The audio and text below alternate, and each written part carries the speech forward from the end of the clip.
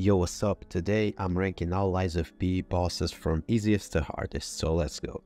Number 1, Puppet of the Future. He just stands there, the goal is hitting its legs until he's out. Sometimes he tries to step on you, but you can just dodge easily. Later in the game you have the opportunity to fight them in less favorable conditions, but anyways, as it is, this is the easiest. Number 2, Mad Donkey. This guy is super easy, introduction to humanoid boss fights. The thing with these fights is they're kinda faster, so sometimes it can be overwhelming or something. This guy really doesn't care if you get his back, it's way easier to stab this guy on the back compared to other human enemies. Number 3 Door Guardian. You gotta stab this thing's feet until you get the opportunity to stab him properly.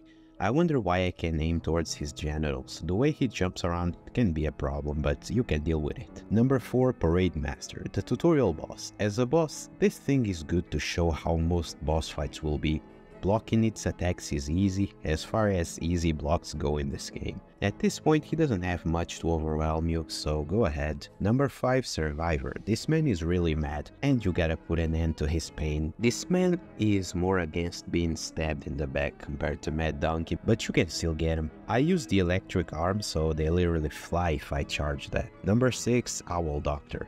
This one is more aggressive compared to the survivor, but he still jumps around and leaves his back wide open for you to stab him. Other than that, he has a knife, but that's not much damage. Blocking normally already saves you, and perfect blocking is really good in this game. Go ahead and do your thing. Show this man you're more human than him. Number 7, White Lady. At the end of the day, it's a white lady, so don't worry about being labeled racist. She doesn't really like giving her back to you good one. And she's really fast, faster than the other humans you've killed until now. I'm still mad, as in the recording I've wasted my Fable arts, so yeah. Number 8. Mad Clown Puppet. The hardest part is reaching this man while there's other puppets around, so what I do is run towards the Stargazer in front of the Opera House, then I can fight him alone. He's nothing special alone, the rhythm of the perfect blocks are easy to get a handle on, so you will easily get this clown out. Now if this was a clown girl puppet, things could be more interesting. Number 9 Rubber Weasel. This guy is a young man trying to reach a full belly during an apocalypse. At the end of the day, he attacked us first, so no hard feelings. In the footage I'm kinda slow, as in this run I lost my swag with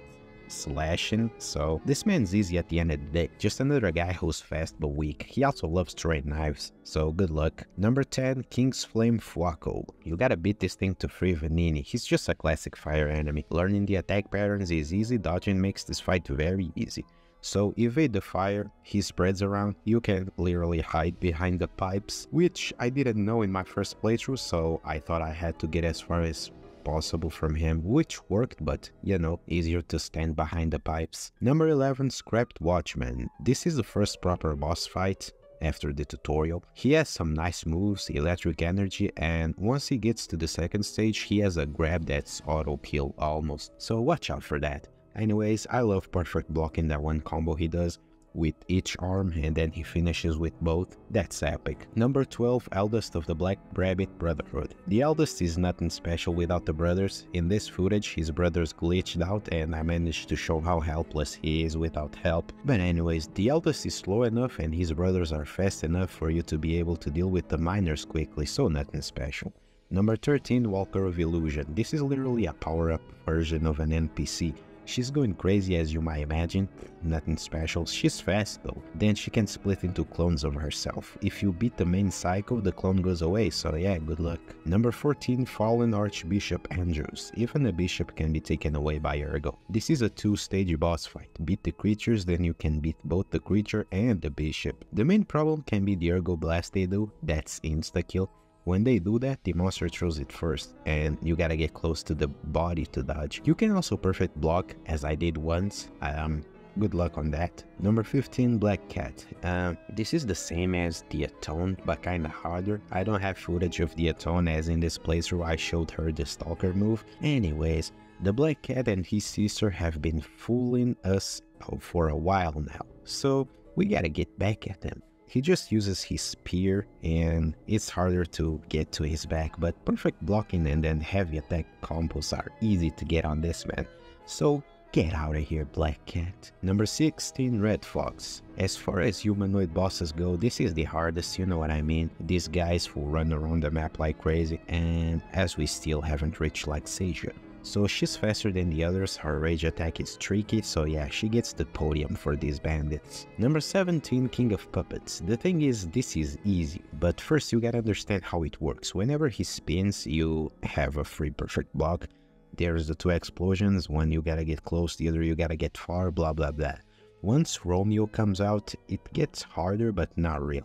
You can actually just dodge towards his back, then he stops his combo. Yeah, once I've learned this, I lost all respect to my besto friendo. Number 18, Champion Victor. This man is overwhelmed with the power he got. Kinda weird to have him higher than Romeo. In a battle, I think Romeo could get him out, but you know, as a boss, this guy is harder. This fight is a hit and run as far as it goes. Hit some, then run. Understand when his combos end and get back at him. Once he transforms, he adds some new hits to his combos, but nothing special. Still the same thing, hit and run. Number 19, Corrupted Parade Master. Fighting this thing when I was so emotionally invested in the first playthrough was a walk in the park, but during the second one, I don't know what happened to me. This man is a little bit faster and he turns into a raging baby once he throws himself to the ground. Then he spits some zombies as well. You can get overwhelmed sometimes, but overall it's easy. Get them. Number 20, the Black Rabbit Brotherhood. Now it's time to fight these guys all together. Once there's only one brother left, the oldest will come back to life, so you better leave the last two almost dead at the same time then you go ahead and win. The oldest is kinda stronger now, it's still a hit and run fight, sometimes he tricks you into thinking you can attack, but you soon realize when he's tired and can attack. Number 21 Green Monster of the Swamp. This thing is aggressive. After a while his moveset gets stuck in your mind. I'm going crazy remembering his moveset as well. Perfect blocks become second nature after losing so much against this thing. Second stage, he takes scrapped Watchman's body, his moveset changes a bit, he's more aggressive, but once you become one with the chair, you realize, once he has the monster face, you run, or you get perfect blocks. Then you get this thing out and fake Alidoro takes the treasure and sells you a blade, which I thought was the last weapon from him until I realized Laxasia and Simon also drop Ergo. Number 22, Simon Manus. This man has been enslaving our maiden for so long, so we gotta make him pay. Plus this man is being blasphemous, so we gotta put an end to this. First stage, easy. Learn the moveset, he likes swinging around it. It's really easy to perfect block. Second stage, it's the main expansion. He gets all the power going on. Explosive hands coming from the sky, corruption lightning but he still loves to jump and swing the same way, so you can get a bunch of damage going on. I really love seeing my enemies HP deplete this fast after I've made so many attack power upgrades. Number 23 Nameless Puppet, fighting Geppetto's son. He kept his body conserved for this, he is easy to block, but you still take a lot of damage. He also teabags you once he wins, and he uses pulse cells sometimes. Once he goes second stage, he starts using new powers and gets stronger. The His combos get crazier also, but at the end of the day, you get an anime ending and Geppetto finally realizes you were always there for him. Even though he only thought about his dead son, you were his son. Number 24, Laxasia the Complete. I gotta say, I thought the second playthrough would be easier, but it took me 40 minutes to take her out. She goes from slow to fast real quick, the armor sections get easy after a while, just attack a bunch, dodge through the attacks, get the acid going on and stab her. Break her shield or don't, we don't care. Then she takes the armor off, showing that it smashes. But this gets harder. Um, she has a lightning powers, she teleports around, delays her attacks as she finds fit, all because of her devotion to Simon. Once you beat her, everything comes together. That's it for today. If you think I've messed up with this ranking, let me know. See ya around.